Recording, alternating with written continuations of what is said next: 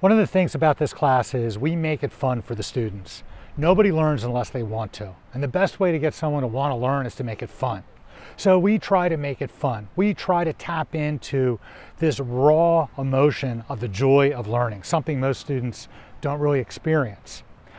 I think that the joy of learning is one of the most addictive drugs in the universe, and I want to get all of my students completely addicted to that drug.